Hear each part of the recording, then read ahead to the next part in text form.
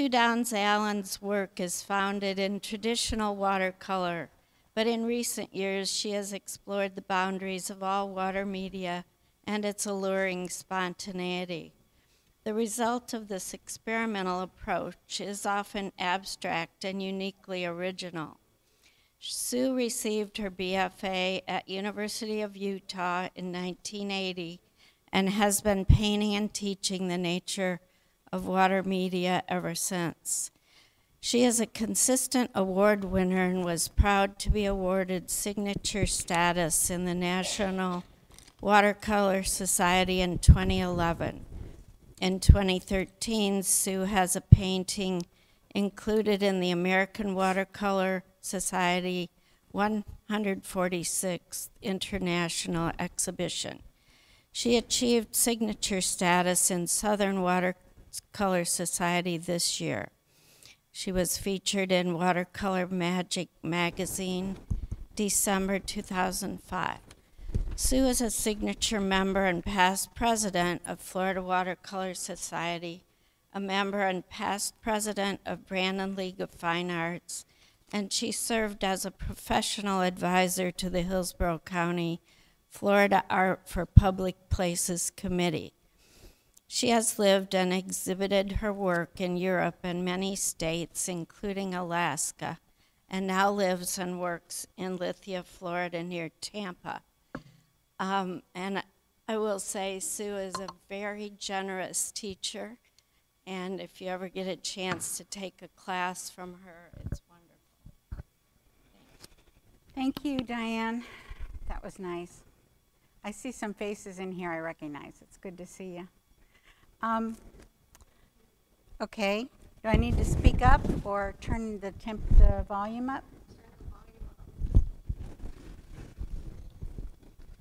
You say that like it's easy, right? Okay, is this better? Better? Yes. Okay, good. Um, yes, this is letting go with water media because I've been working a lot in acrylic as well as watercolor in recent years. And I'm trying to stay with watercolor for you today because most of you work in watercolor. Plus, I would like to get back to the transparencies I've had before. And acrylic makes a strong statement, but it doesn't necessarily say um, the, beautiful, the beautiful things that the transparency does for us. I think that's why we're all doing watercolor, is those unique things that it can do. Um, hold on a minute, I have a lesson plan. and I left it back there. You probably would like me to know what I'm doing. Um, I want you to let I want you to learn to let go and appreciate the things that watercolor will do and I'm going to demonstrate that in a simple exercise, and I think you all know this, but you may not use it. Um, when I went, I left high school in six, 1965 and went to the university, and everything was abstract. Everything was abstract. Expressionism, you might as well not even be there if, if you were going to paint traditional or you were going to paint tight, is what they always called it in those days. So I learned my first drawing design class I walked in and I was so eager, you know, I was going to hit it hard. And the teacher had piled a bunch of bricks in the middle of the room. So it was just shapes. Bricks were standing up, bricks were laying down. It was assortment of shapes and sizes and all sorts of things like this. And if you I thought, well, what am I going to do with that? I just came from, my high school teacher was an illustrator, so he wanted me to do illustrations. He would give us a title, like Night Football was one of them, I remember. And um, I was supposed to do an illustration to show that. So I was used to uh, a direction, which sometimes this kind of painting does not have. This teacher wanted me to just go and make something out of those bricks that he had never seen before. Now, I'm saying all this so you realize where, I'm, where I was coming from. Um, not only that, I grew up in Cleveland, Ohio. I lived in Canton until I was nine, but we moved to Cleveland, and I had summer classes at the Cleveland Art Museum. I had, and one summer, I had a watercolor class at the Cleveland Institute of Art, which was such a blessing. You know now because a lot of kids do classes like that where they go to a, a university for in the summer.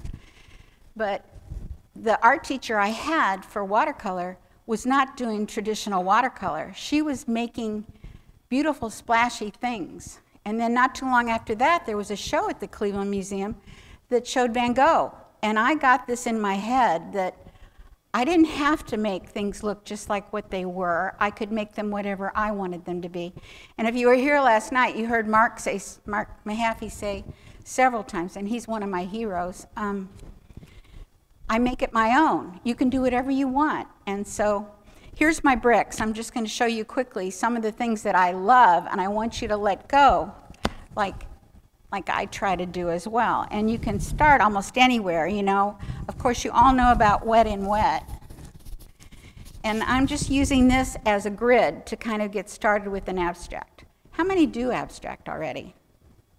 Okay, you're scaring me, but I'll look at yours later. We're going to talk about mine, I guess, now. Um, I'm going to start with a color here, and I think I want to start with sort of a gray, so I'm going to mix a color. A little bit of cerulean blue. It's going to gray it out a little bit, take it to sort of a taupe color. And I'm just going to put the paint on loosely like this. And I'm already on a wet surface, so see it all blends for me. It gets interesting. For me, it gets interesting right away.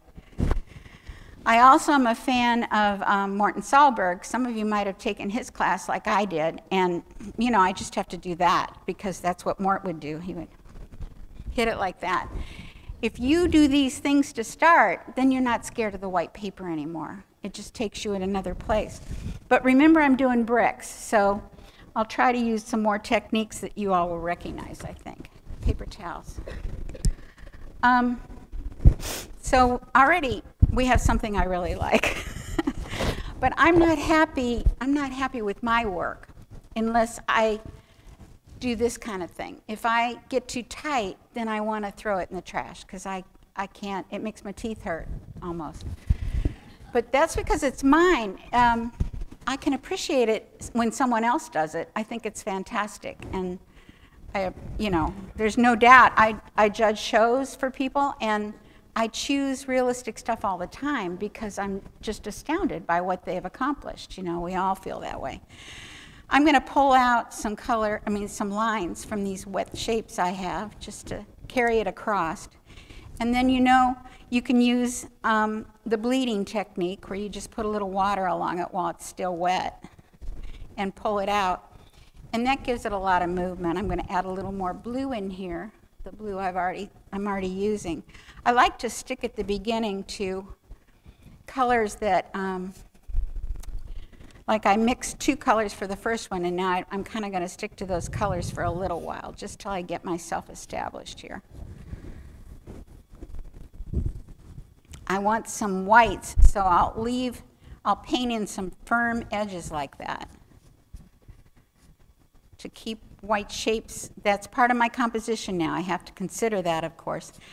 And speaking of composition, and um, I do abide by the rules of um, design, and I have a list here. You all know them, but your composition you have to consider, and that just means finding a balance within your work. Your format, I'm in a vertical format on a full sheet of watercolor paper. I could have changed that format to any shape I wanted, and I studied with Nicholas Simmons too, so I will tell you, he says to everybody, don't have a paper that's the same as everyone else's. Has anybody been in Nick's class?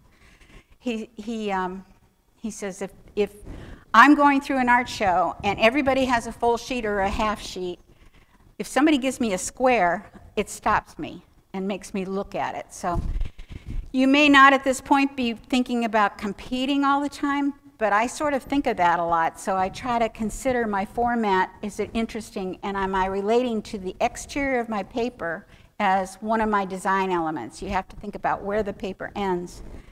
And consider that with all your, everything you do, it, it's confined in this space. It will have a mat around it, but I still have to consider it. That's format. Shapes. Um, right now I have a bunch of small shapes and a backwash that I don't like. Um, but shapes, if you get some bigger shapes in at some point, which I'm, I get hung up on all these pretty little things. But, um, okay, I'll get a big shape in there. How about that? Shapes, value structure, you know, right now it's all mid-tone. Don't ever just leave it mid-tone. It's the, it's like the death knell for um, competition or almost this, the same thing is true with customers. When you put paintings up in any show and you don't consider um, the same things that a judge would consider, you want to draw the person to stop. You want them to look at your painting and think about it. And you don't have subject matter when you're doing an abstract. You don't have a subject matter to draw them in. Subject I've, I've judged the state fair, and I was with a woman who actually said, Well, I like the Cocker Spaniel because it's so cute. But it wasn't the best painting, you understand. She was drawn in by the emotion of the subject. When you do an abstract, you don't have that ability. You have to, you have to give them something else. And for me, it's usually, I think, whoops, sorry, I forgot that was there. Um, for me, it's usually something like a familiar feel of the design. If you get it balanced right and people feel it, that it's, it's good, it's amazing how there is a constant to that. There's a certain quality that everybody understands, sort of. We've all in, agreed that that is balanced and that's the form it should be. If you've ever put things on your coffee table and someone moved one, and you go, that's not right. Okay, that's the way I paint. I react to if I do something that's incorrect, and you probably do that in your paintings too. You immediately know if you did something incorrect and it feels uncomfortable, right? Or if you arrange your magazines wrong on your coffee table, you feel that way. So trust yourself on that. Trust yourself on all of it. I've had people say to me, "Well, Sue, how do you how do you get so confident about it? It's not really confidence, it's arrogance, sort of. It's like, I only have to make myself happy, right? But I hope that it makes others feel what I feel. I think all artists have that a little bit. I'm really sensitive I, to everybody else's opinion, but I, um, I have to do what's right for me. So if you don't have that, you kind of get lost because there's so much going on. Okay, I'm talking too much. Um, just a couple more things. Color, of course, is important and focal point. Now, I don't decide on my focal point until the very end when the painting is nearly finished. So does this still look like a pack of, a thing of bricks? I would come in and put a second coat here in a couple places for a subtle shift. Let me get it a little darker. This time I'm putting Antwerp blue in it, which is a Winsor Newton color.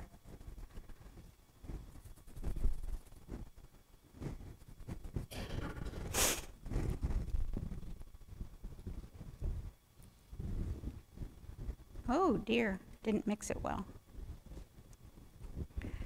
So I'm going to, even though it was drawn kind of cattywampus here, I'm doing it that way so that it'll have an interesting shape.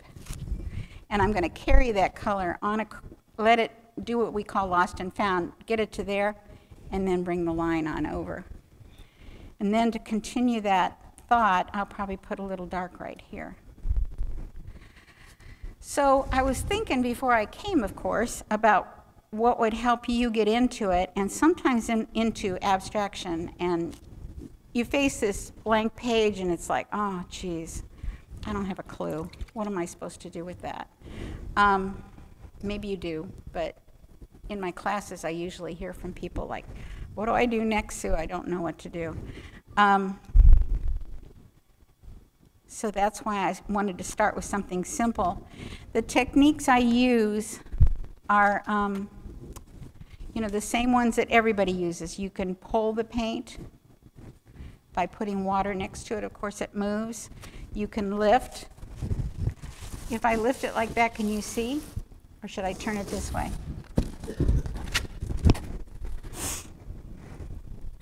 I love drips. You will see, where's my red one? There, the, um, that's called Shangri-La. And it's actually on canvas, but um, see, I love just interrupting everything and doing something like that. But this is the first step. There's going to be three or four layers, so don't judge me too much yet. it's like you don't want anybody to come in and taste the soup until you get it done. Okay. You can talk to me while I'm painting if you want to. I'm not real picky, but.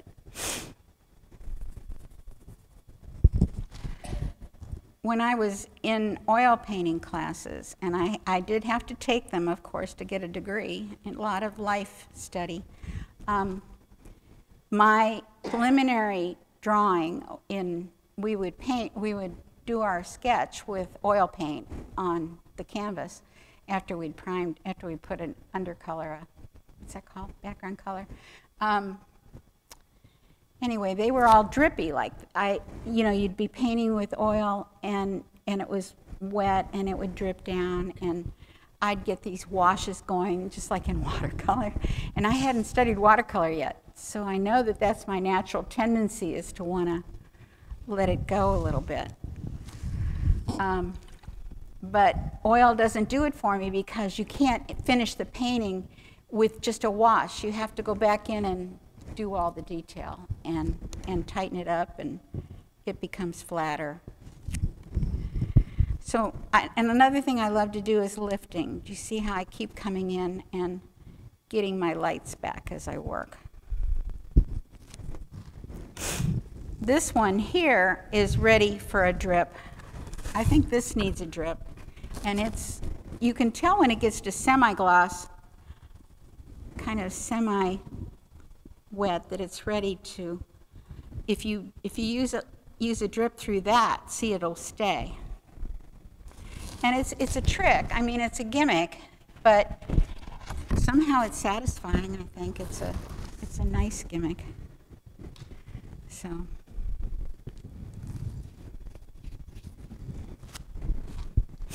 Okay, I'm working in the middle. Let me get something big going. Um, if you, some of you have seen my work in recent years, you're probably thinking this is a completely different palette, and it kind of is. Um, I've been using a lot of primary colors in recent years, but uh, we were all home for three years, and I kind of something shifted in my work. I now paint a little bit um, looser. I can walk with this, right? I want to show you something over here while that's drying a little bit. Um, I showed this another time here at, at, Florida Watercolor, but this is an example. This painting was in the Florida Watercolor show. Um, I don't remember. I think we were in Orlando. I don't remember what year. But this is an example of how I let myself go with a painting here at the top. You might have to come and look at it later, but this one is, a is the full sheet. I put that, I took a photo of it and then I cropped it on my computer and I got to this because I knew I didn't need all that. You see how I cropped all that off? Now I have more like a square. And then I was able to go in and just, I, this was too bland right here, so I pulled it up, pulled up the color with that. And do you see how this gray which was okay for a while in my mind, became a red. See how the hot red, this red and this red were so strong. So I put a little red there and just walked my way around the painting. I do like that white. I probably should have left it, but when you get a chance to look at that up close, this is a really old piece. I did a series, a creation series that had seven pieces, and it compared creating that artists do with creation in the Bible. This is The Spirit Moves, because I got this sort of figure here from marbling. Now, this is doing an abstract start with that, and then I put it, I, I marbleized, I, I floated acrylic on that gel stuff, and you just put it down on it. and I got that. I was doing a lot of, this was a full sheet though. This is just a print of it. And um, this I did recently in a workshop. And I actually entered it in this show, but it didn't get in, another one did. Um, and this was, I thought, very abstract, but when I got it home, it became a landscape. So that happens too, you know? And the point is, it doesn't have to be abstract to be loose, to let go. It can be a realistic painting as well. This is really old. This is 2005. And I brought it because I had a pretty good print of it, but um, I still have the painting. This one is just all, you know, I was, I don't know how to explain it, but I wanted you to see that I can put a figure into an abstract, and I think it's more interesting than the figure would be if the whole thing were realistic. I've given her an atmosphere around her, and it sort of looks like it, she looked like an Indian woman to begin with. She's got something coming over her head and a cloak around her. I painted this for my daughter when she was going through a divorce, and I call it Looking for the Light. And um, I like it, so back to those same colors I'm kind of using there. But I just wanted to talk about these a little bit. Up front, you see the one on the left. This is my after Solberg piece, and you're probably going to have to get close to this to actually see it. Um, this has a lot of um, rice paper in it. Uh, Unryu, the mulberry paper with the strings. And it didn't, I entered it in Florida watercolor last year. It didn't get in Florida, but it got in Southern, and I got my signature this year for this one. But I want you to know that the black that you see in here is India ink. And I tossed it just like I do, like I said, Mort Solberg does, where I went like that, you know, and, and then I pulled, here you can see I pulled out the, the ink with water because when it's still wet, of course, it, it's soluble and you could pull it. Um, so I had this black frame, which is a nice way to start if you start with something permanent like that. Now you got to deal with it, and you have to do something interesting. So there's rice paper and there's collage paper in this one. Um, you can see this green is a piece of tissue that I painted, and there's little tissues everywhere. It sort of started to look to me like the sea, and that's why this blue one is here. This is called um, um, By the Tides. I did it again. Uh, Tide Rushes In, it's called. And I want it to look like the sea is coming in. And this seabird, that was part of my toss, that was part of my throw. He was there, except for I put a little head on top. So the white in the background. There's a lot of gesso. Where? Here? Here. An all white corner, you think it's too much? No, I don't know. No, I. Okay, this goes back to that's something that, okay, what she just said, what about the white corner? And I have been dinged for that before. But remember how I said I do what I want? so I don't always follow the rules. And people who really know me know I'm not very good at following the rules, but um, I mean well. um, but I liked a resting place. I think a busy painting that has this much with all these strings and things in it needs a place for you to rest and sort of it this this whole thing is pointing into this. It's bringing you into the painting and then hopefully the water is bringing you down through. So it, compositionally it worked for me. Yeah. Um, I'll show you that. I have rice paper with me. I'll put it in the painting. This, did I talk about this one already?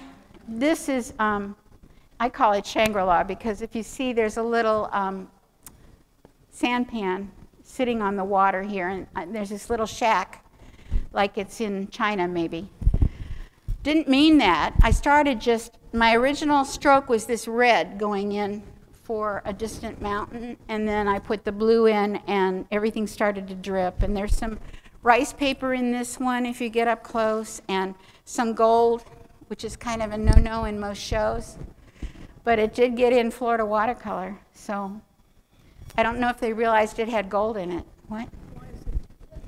They don't like you to use things like that are already, uh, if it's not gold leaf, it's just gold paint. But if you used gold leaf, it wouldn't be allowed for sure. It's a collage it's a watercolor collage, yeah. I guess it has to. It has you. You know, when I sign it in for a show, I put water media collage for the what it's called.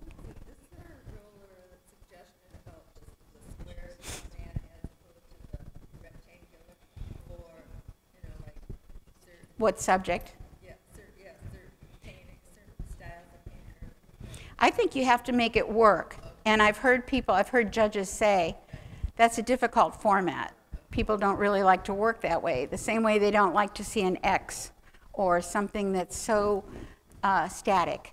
It's like, it's, it's an open thing, but you've got to make it balance within that shape. That's what I was talking about in format. It's really important. When you start doing an abstract, you think you can just go crazy and put paint all over, but you have to still consider all those design elements. And I don't know why Mark didn't want to say, is he here? Not to, uh, kind of shift in your, it, it looks to me like the color palette colors change. That's what I mean. Really bright to very earthy tone. Yeah, yeah, I, I also, I also was very ill for two years during this time, and I thought, yeah, I'm, oh, so you can, so they can see me when the camera? Um, yeah, I was trying, I was going upstairs. Um, I was ill, and I was just at home all the time, and I think I wasn't strong enough to paint, but this was the first one coming back. Maybe that's why I love it too, you know, when you, when you get excited about something. So, any other questions? Yeah.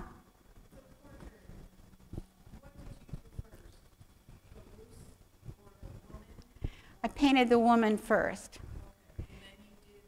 I worked down and, and put the cloak around her, and then that white that you see above her head, that is white acrylic, or I use um, a white ink, um, F and W, FW wing, inks, and um, she, um,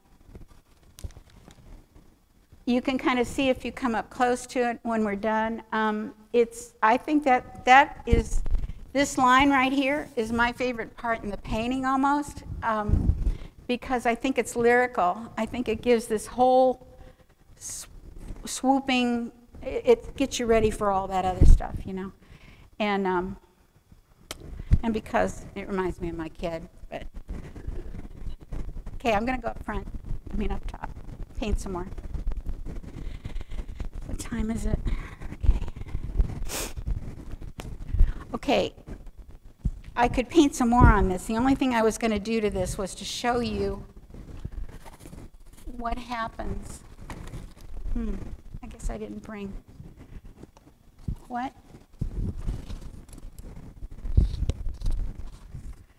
I didn't keep a clean water.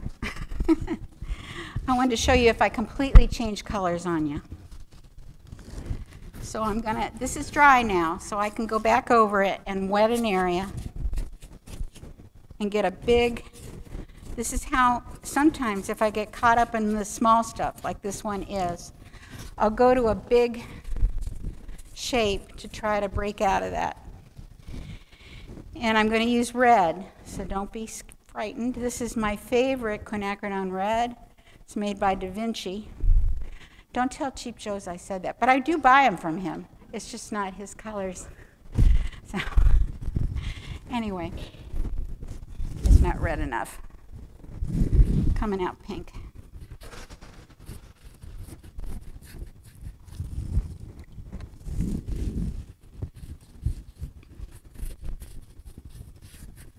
I'm ruining it.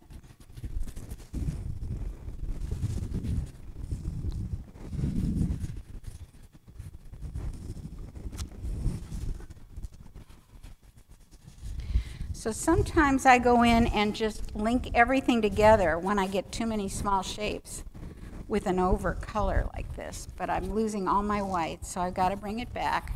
Hope I can.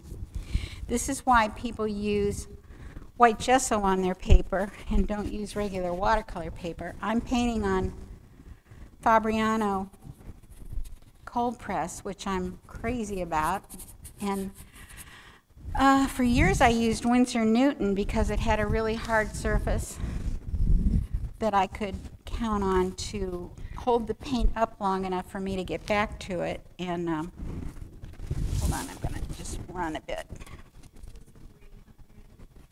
It is 300. Or I don't know. I, it might be one, 140. Is anybody else having trouble getting paper? I I ordered paper last month and I had a little trouble getting color I could work I mean, that I getting the ones I wanted. I had to try some new kinds, so I'm not even sure this is Fabriano. No. But I do like to pick up, I like to lift. So um, if you have a, a flat that is um, sort of short like this one, instead of long like this, this is a really good wash brush. This is a better lifter. And I know I'm getting an edge right here. And if I'm getting an edge, I usually go back and try to soften it so that leaves it open for more work.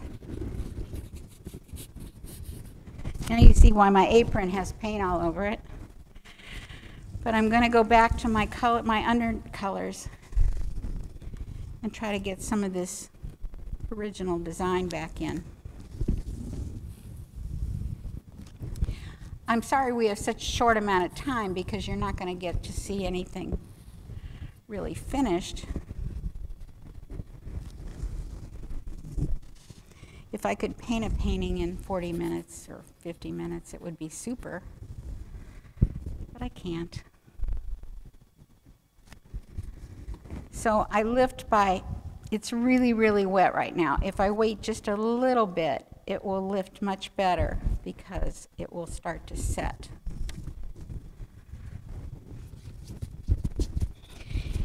If you look for my paint, if you go to um, Sue Allen Art, um, no, that's, uh, anyway, Sue Allen Art at Verizon.net, I'll, I'll post the finished painting of this, but that didn't really work very well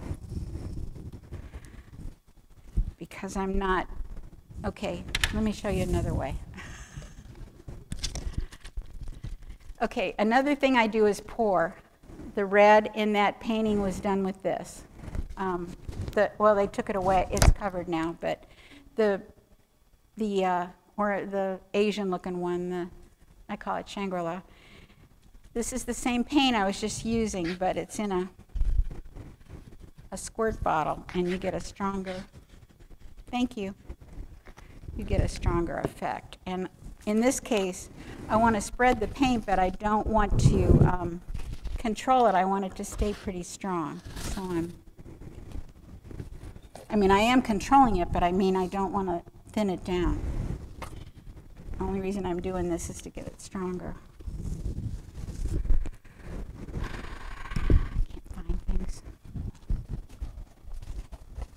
You getting an idea about how these things happen?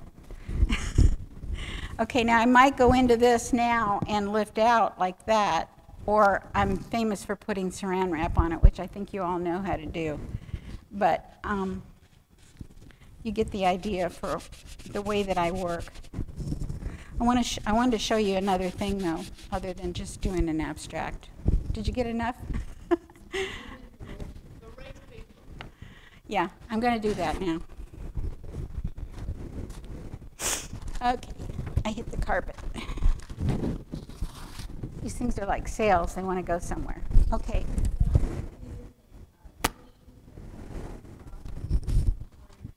Paper towel. Okay, this is the um, paper that I use that you can, I bought mine from Cheap Joe. And I also have tissue, pre-painted tissue. I keep all my scraps so I can add stuff if I want to. This is a painting I did in a workshop. And um, I didn't do anything more to it because we wanted, they wanted something kind of realistic. So I'm going to show you what I would do to it to um, make myself happy.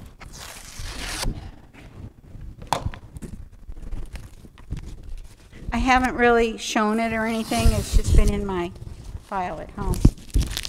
This one has gold acrylic on it, which I love to use. Um, there are all kinds of people that don't approve of it. I had one judge, and because I was on the board for a while, I met a lot of these judges that come to Florida Watercolor, and it was Carla O'Connor, I'll just say that. Um, she said, when she saw a piece that I had gold paint in at a show, she said, and she was the judge, but she said, had I known that there was gold acrylic in that, you, your painting wouldn't have been in the show. It was a good painting, but she doesn't like. So I, you need to know there are people who have their biases about things like that. And it used to be really horrible to put some acrylic in a watercolor. And I get that too. I mean, you want the competition to be even for everybody. Okay, I know. Do the, the other thing. Yeah.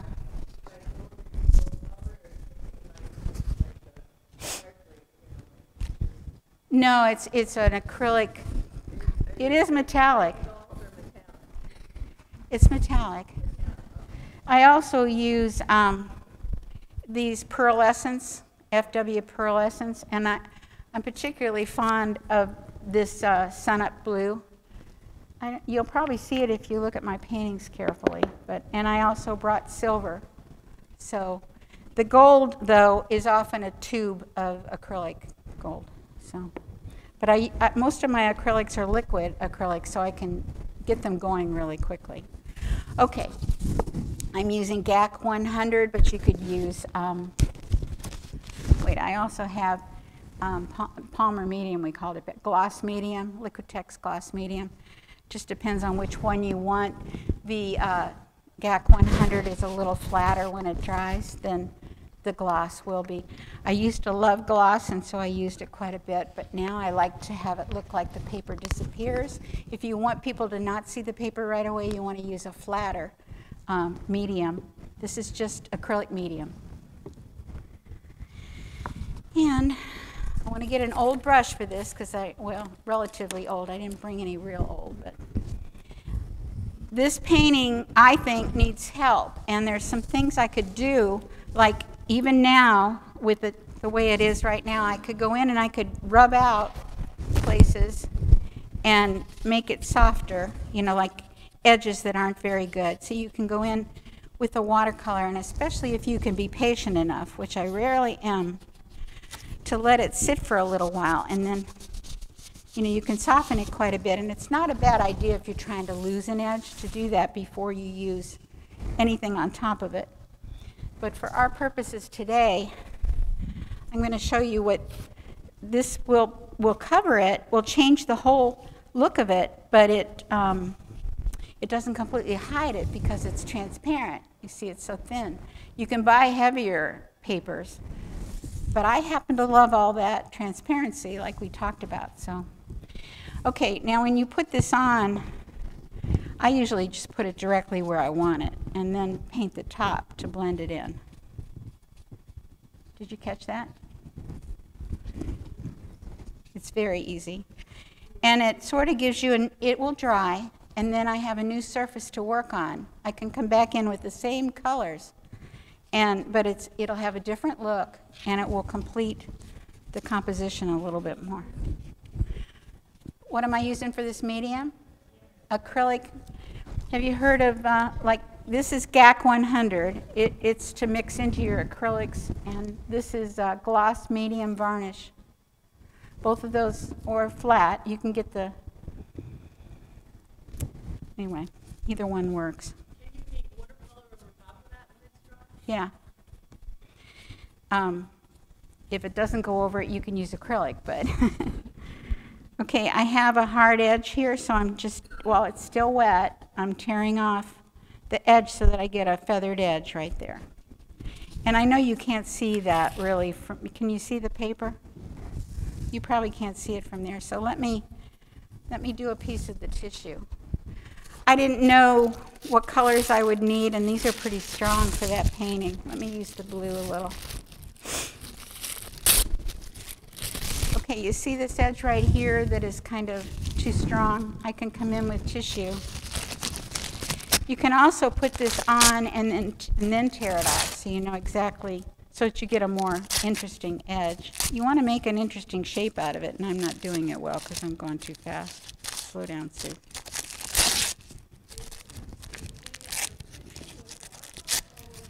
This is with acrylic. You can do it with watercolor, but it spreads. It's, it, it'll dry and it'll stay. But then when I, yeah, when I go in it with, go into it with the acrylic medium, it will, the color will pull out a little bit with it. Yeah, good idea. Thank you for saying that. Okay, so I want to cover up here a little bit.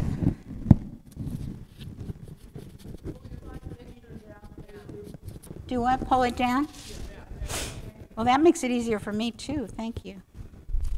But see, now that didn't blend in very well with that. So I might have to come in, if I'm going to cover that, I have to pick a color, mix a color that's, that works with that.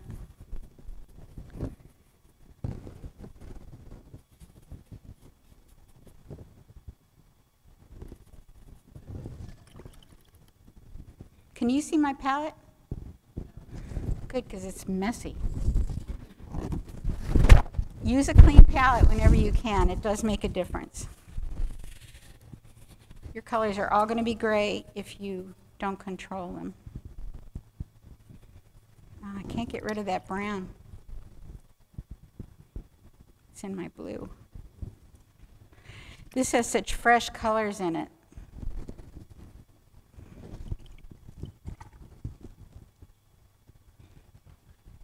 Okay, that's better. I wanted to just bring that color up a little more. Okay, I can't make it blend perfectly, so I'm going to instead show you how I would, come on, pull that over.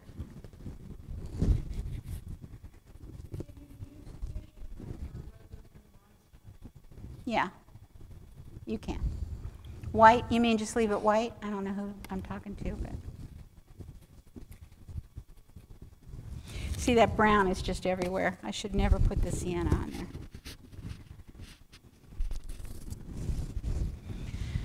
Okay.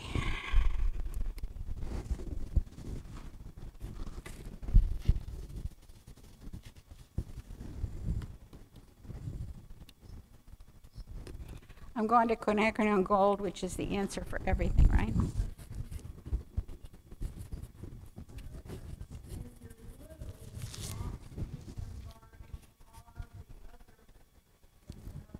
GAC 100. GAC dash 100. Who makes it?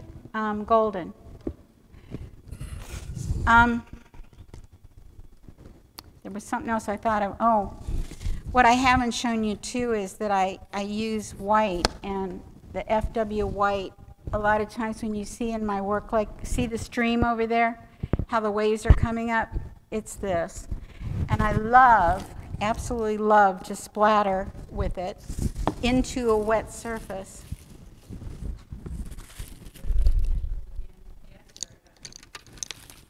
I, what, what's the question? Oh, FW. Yeah, it's acrylic ink. And I buy it in big bottles because I use it so much, but um, it's an acrylic ink.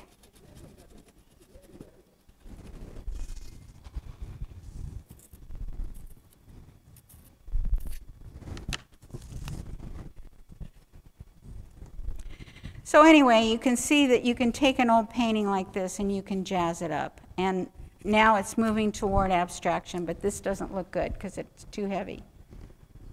I should have brought a different piece of, of paper. So I'll just paint over it.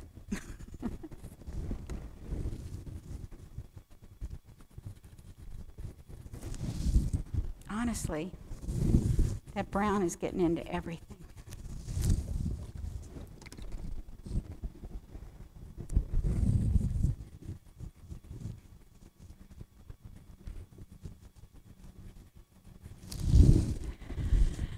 Okay, any more questions? I'm a little bit uh, angry at it right now.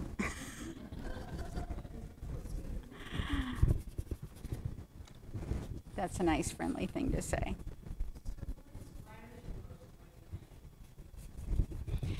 I react to what I, my starts.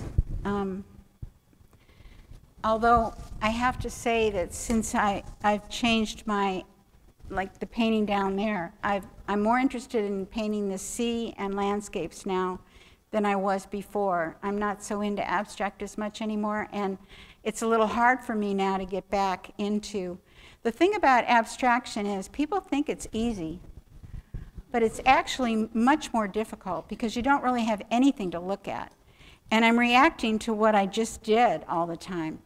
Um, and sometimes it's horrible, so you have to be prepared to make those corrections or make it work. It, often you can just put more layers on, but then you lose your transparency, your beautiful, the things you love about watercolor. And that's disappointing. But thank you for that question. Um, I'm so um, more introverted now. I'm thinking about family more. I'm not so much into the painting as I was. I'm recovering from an illness, and I just um, don't have a lot of strength for it. Do all of you feel like when you're working, do you just pound it? Like right now, I'm perspiring just from working in front of you guys. It's like I put a lot of emphasis into it. So. Um, I hope I helped you get. What, what did you want to get today? Somebody tell me what you were looking for about letting loose with watercolor, with water media. You know that you can mix your acrylics with your watercolor. I brought only a limited number of colors in acrylic, but if I want to make orange out of this red, I can use my yellow watercolor into it. So if you want to play, how many of you use acrylic already in your water paintings? Okay, so you know. I want to show you this color. Maybe you can see it if I do a big blotch of it somewhere. This is the sun up blue. F, see how it is iridescent and it goes with all this up here. So that's why I wanted to get into it. But and this is an acrylic ink, so it has a body that you have to consider. It's um, it has its own strength and shapes when you put it down, or you can put a lot of water with it and it blends away. Back in the day, I was telling you about going to college in the 60s. Acrylics were, had just come in, and that's all we were supposed to use in some of my freshman classes. And they were awful. Does anybody, did anybody use acrylic in the 60s and they were just they were just marginal, right? You didn't know whether they were transparent when you wanted to be opaque, and they were opaque when you wanted to be trans. I, I don't think it was just because I couldn't handle it. They were really. But now, I just think they're wonderful. This has a flow to it all on its own that the paint just kind of did. Um, you know that saying about if you get out of the way, the painting will make itself. That happens a lot with this kind of thing. And then if you make a mistake and you get white on top of something you wanted to keep, like this purple, you, you can lift as long as it's wet. If you're having trouble adjusting to using water, um, acrylic, that would probably be the hardest thing to adjust to, would be realizing that you can't lift it or change it once it's starts once it's dry. It's permanent. But that's also an advantage. Remember how I told you how I threw the black ink on that one to get started?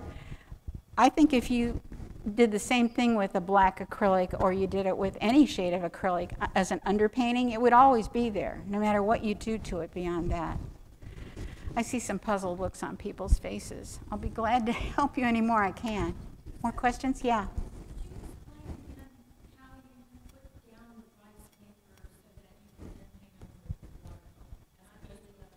Yeah, okay. Let me get another piece of paper. Here's my portfolio.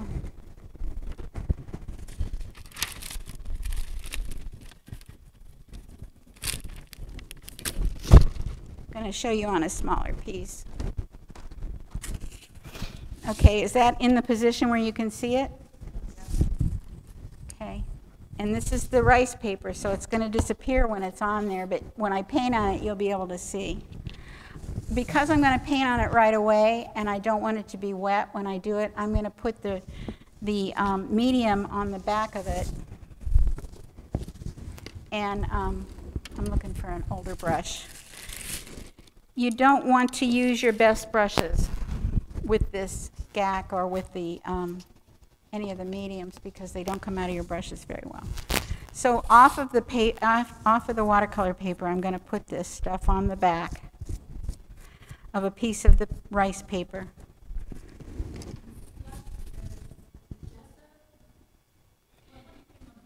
I'm putting on the back GAC 100, but you could also use acrylic medium varnish. Okay, I'm putting that down now. It picked up some black from the table. But then I would do, um, use a brayer to go over it to settle it in.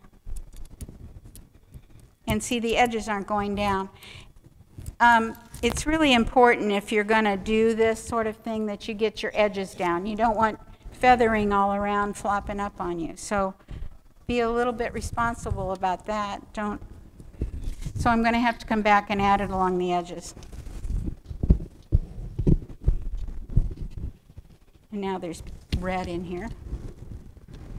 Man, I'm having trouble with a dirty palette today.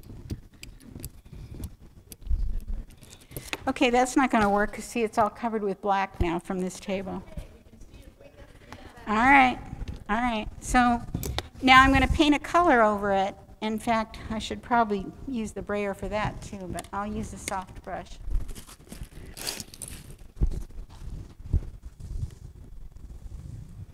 What color shall we make it? I want to use the blue. Watercolor. But acrylic would work too. But you've got it. What? It does. You can see it that well. That's great.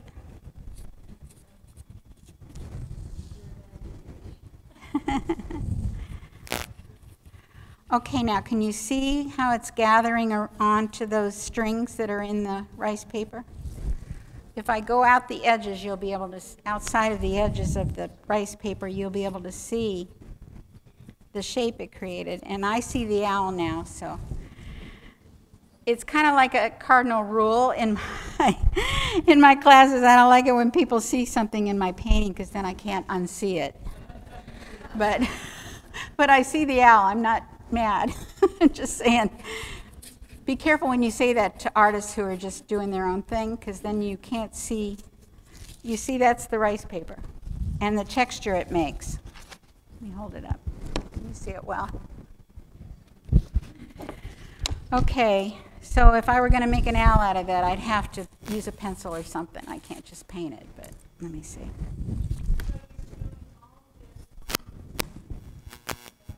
On the what?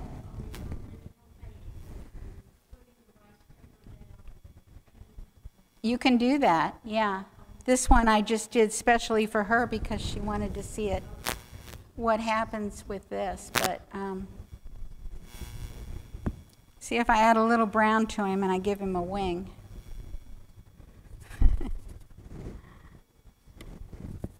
Let's darken it up a little bit.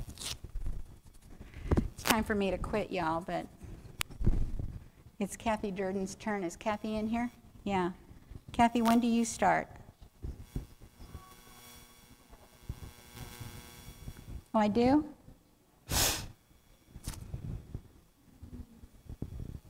Okay.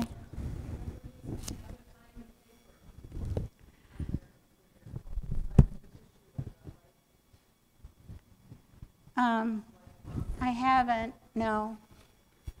I know, I know about masa paper, and it's, it's good for drawing, and, and it's very good for calligraphy and stuff like that, right? Um, and I have a book, gosh, I can't think of his name, a guy that did that with a lot of people, you know. I don't know what an owl looks like, do you?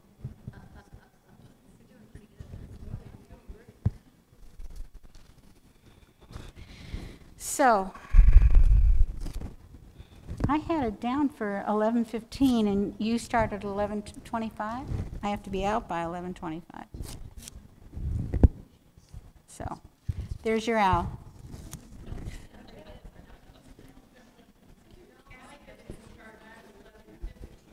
Oh, it's the back of a cat? Yeah, that's cute too. Okay, owl lady, come up, you can have this one. Kathy doesn't start until eleven fifty, Sue. I have out at 11:25. You don't have that? Yeah, but I thought I, okay. I don't have to be out of here at 11:25? I thought I had to be out, and she said, do a 50-minute thing.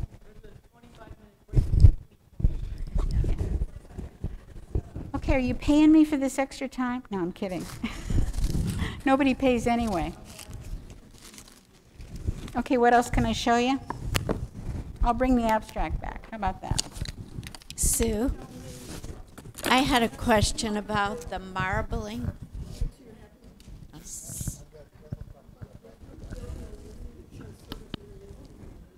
It is. Um, it's a little bit north of the middle, and but it is sort of in the middle. But hopefully, the design it bothers you that it's right there in the middle. Yeah. Well, if you can make things work, it, you can break the rules if you think it works. And I sold it, Bonnie, so it must be okay. Everything goes right to the little shack. You're right. And you know what happens when you're working abstractly, like I was when I started that, is that it. Um, uh, I lost my train of thought because I looked at somebody. Um, yeah, a shape was there. There was something there that made me think that is where the little shack. I didn't even think about a shack, and I didn't look at a photograph of a shack. I just put it in there. So you're right. By all rights I should have like trimmed one side or something like that to make it better, but it was on a canvas. It was on watercolor canvas. Okay.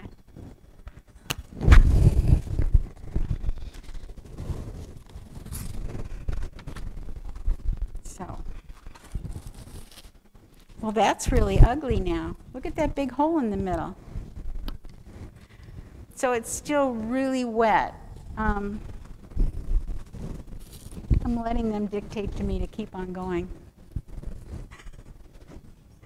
So I don't think that can be saved. I loved the start and I ruined it, didn't I? Um, so.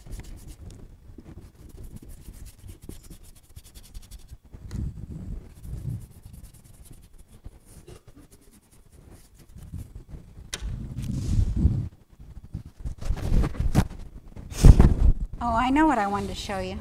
Can I show you one more thing? Because I'm doing that, I want to show you what it is like to work on canvas with this stuff. Now, this is just a regular canvas.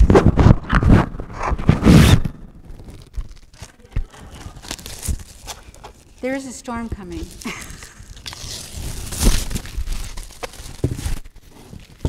So if you go to Michael's when they have the big sales,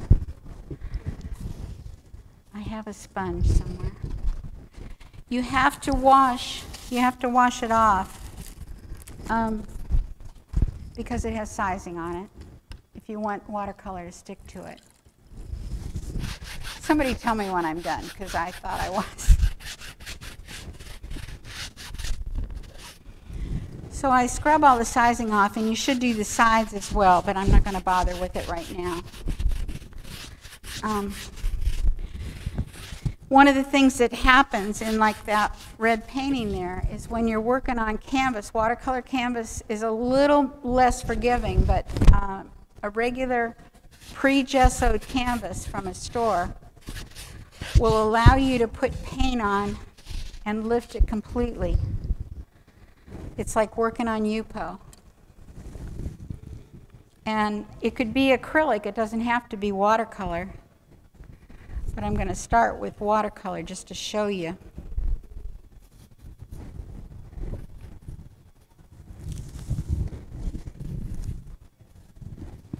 Go right over the edge when you're doing that. But.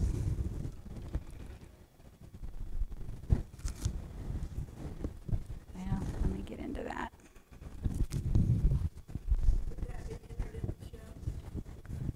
no. I don't think so. Does anybody know?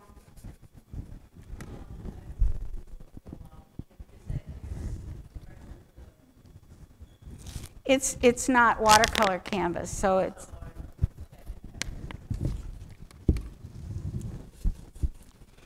Only things that are meant for water media can be entered in the show, but... And if you're doing pouring, if you're doing that thing where you stack up all the things in a cup and you dump it and it makes shapes, these little canvases are great for that. But, um, if this were starting to dry, I'd be able to come in and lift. Like, I want, if I want to straighten that edge, see, so often people leave a messy edge like that.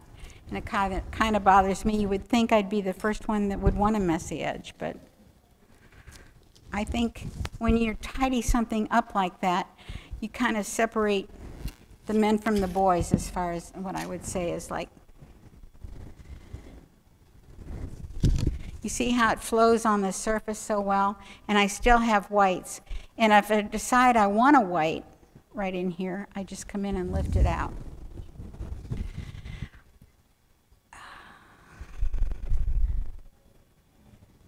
Lot of options to this technique. Once again, I'm going back to the flatter brush.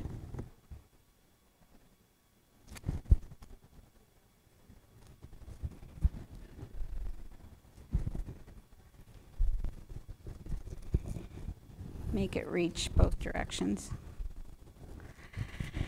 But Bonnie, back to your question about the center, you know, you have to satisfy yourself on something like that. Like, I know it's one of the rules, don't put anything right in the center, and the, the rules about, um, what's, what's it called, thirds or something?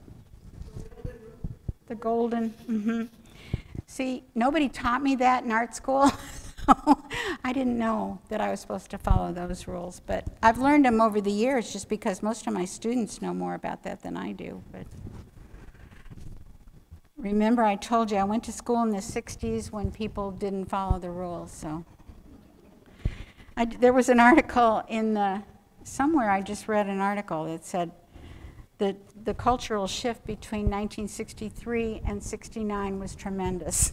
and I was right in the middle of it but I mean, I really wasn't a crazy person, but it, it was in the art world, it, was an, it wasn't considered important work unless you were doing something totally original. It was 1128. Am I done? Well, I didn't want to disappoint anybody. Okay. If I had saran wrap, I'd lay it on that wet surface right now and it would make more shapes for me. And then I'd run my brayer over it where'd I put my brayer? So thank you for listening.